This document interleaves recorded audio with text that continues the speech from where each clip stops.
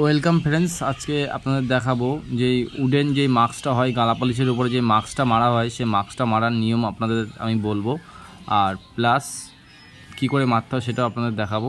দেখতেই পাচ্ছেন, আমরা কিন্তু, এটা কিন্তু একটা নিম কাঠের বক্স কাঠ এটাকে কিন্তু আমরা গালা পালিশ করেছি। গালা পালিশের উপরে কিন্তু আমরা উডেন যে মাস্ক হয় সে মাস্কটা মারছি। আর গালাটা কিন্তু সবসময় জন্য আপনাদের গালাটা ভালো করে গালা খাইয়ে নিতে হবে, যেহেতু কাঠের একটা আঁশ থাকে। সেই আঁচটাকে ভালো করে বন্ধ করে নিয়ে তারপরে কিন্তু এই উডেন মাছটা আপনাদের মারতে হবে। আর যদি কাঠে যদি আঁচটা যদি বন্ধ করে যদি আপনারা না মারেন, তাহলে কিন্তু মাস্ক যদি মারেন, তাহলে কিন্তু ফেটে যাবে। আর একটা বক্স খাটে কিন্তু এক লিটার মাস্ক লাগে। একটা বক্স খাটে এক লিটার মাস্ক খাওয়ালেই পুরো কাচের মতন চকচক হয়। আর একটা ইংলিশ খাটে পাঁচশো মাস্ক লাগে। আর যদি আপনারা যদি এরে- এরকম গেলে যদি আপনারা করতে চান, তাহলে কিন্তু কাঠের আঁচটাকে বন্ধ করে নিয়েই মাস্ক মারলেই কিন্তু এরকম চকচকে গেলেজ আসবে। আর নাহলে কিন্তু গেলেজ আসবে না। অল্প গালা হলে কিন্তু কোনোদিনও গেলেজ আসবে না।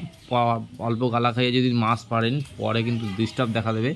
ওই জন্য ভালো করে গালা খানোর পরেই কিন্তু মাস্ক মারার নিয়ম আপনারা দেখতে থাকুন। আর মাস্ক মারবেন ফার্স্টে ফার্স্টে তিন কোট আলগা আলগা করে মারবেন। তারপরে প্রতিটা কোট আপনারা চেপে চেপে মারবেন।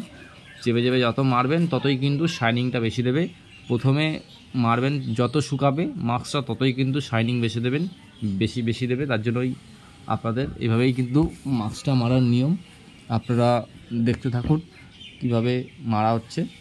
আমাদের কিন্তু ফাইনালি আমাদের কিন্তু মাস্ক মারা কমপ্লিট আপনাদের যদি ভিডিওটা ভালো লেগে থাকে, তাহলে যদি আপনারা যদি কেউ নতুন হয়ে থাকুন, অবশ্যই চ্যানেলটা সাবস্ক্রাইব করবেন এবং